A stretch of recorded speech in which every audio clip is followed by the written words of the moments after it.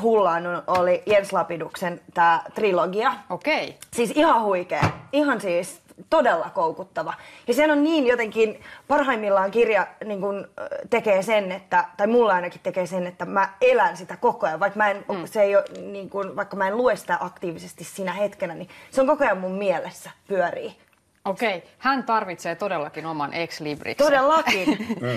Kuuluisa Hieno. kubistimme Pablo Picasso ihaili aikoinaan suuresti zimbabuelaista Shona kivitaidetta, joka sai uuden nosteen 1950-luvun lopulla. Ja Shona taide tuo myös maailman köyhimpiin maihin kuuluvalle Zimbabwelle toivon kipinän paremman tulevaisuuden puolesta. Aamu valkenee Zimbabwessa eteläisessä Afrikassa – maassa, jossa 75 prosenttia väestöstä elää äärimmäisessä kurjuudessa. Chapungun taideyhteisössä taiteilijat aloittavat päivän työtään. Taitavissa käsissä kivi saa uuden muodon tautan ja hiomapaperin avulla. Patsas päätyy suomalaisen taiteen ystävän Anton Hausenin kotiin Veikkolaan.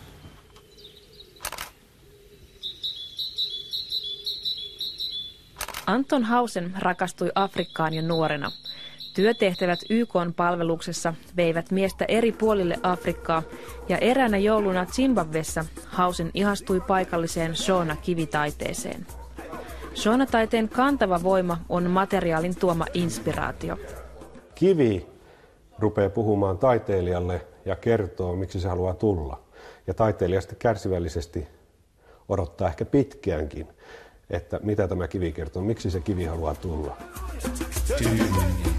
Inspiraation jälkeen kiveen luonnostellaan hiilellä ääriviivat, työstetään muoto esiin tautalla ja vasaralla, viilataan, pestään, hiotaan pinta hiekkapaperilla ja lopuksi kuumennetaan ja vahataan.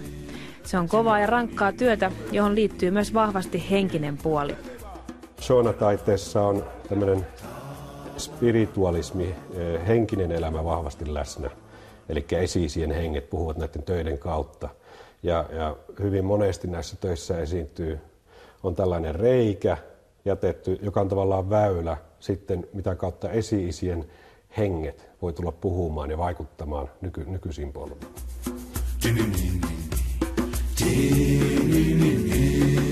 Anton Hausen vietti vuosia Afrikassa kehitystyössä ja Suomeen paluun jälkeen Shoonataiden nousi uudelleen mieleen ja hän matkusti Zimbabween etsimään sopivia teoksia Suomeen tuotavaksi.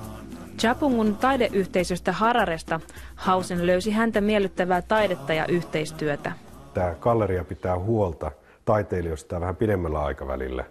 Eli kun jossain vaiheessa kiven veistäjä jää eläkkeelle, niin tämä galleria esimerkiksi hankkii viljelysmaata hänen perheelle ja jälkeläisilleen, tukee materiaaleissa. Eli siinä on tämmöinen hyvin pitkäjänteinen toiminta ja se on ollut vuosikymmeniä olemassa jo. Joona-taiteen tultua tunnetuksi ja halutuksi ympäri maailman on suurin uhka nykypäivänä taidelajin ainutlaatuisuuden säilyminen.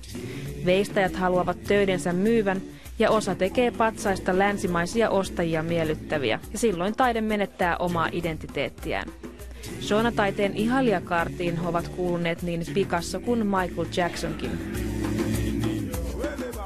Anton Hausen toivoo taideprojektinsa kehittyvän. Unelmissa on erityisesti lasten auttaminen taiteen avulla. Mä haluaisin lähentää yhteistyötä simbapeläisten taiteilijayhteisöjen kanssa ja perustaa jonkinlaisen niin kuin pysyvän valmiuden, että he voi kouluttaa lapsiaan, laittaa lapsensa kunnon kouluun ja puettaa lapset kouluuniformuilla, ostaa kynät kirjat. Et tästä se niin alkaisi, että näiden taiteilijoiden, taiteilijoiden omat lapset sais kunnon peruskoulun käyttöä. Kun unelmistaan pitää kiinni, niillä on mahdollisuus toteutua. Kristiina on syntynyt Britannian Hitchinissä, mutta muutti äitinsä kanssa kuusivuotiaana Suomeen Tampereen Hervantaan. Ja sä oot joskus sanonut, että sä oot Suomessa tuntenut olos vähän tällaiseksi semi-ulkopuoliseksi ja oddballiksi. Niin mikä sus sitten on sellaista brittiä? Ai mikä on brittiä? Niin. No tota, ehkä semmoinen äh, tietyllä tapaa semmoinen ulospäin suuntautuneisuus ja semmoinen epäarkuus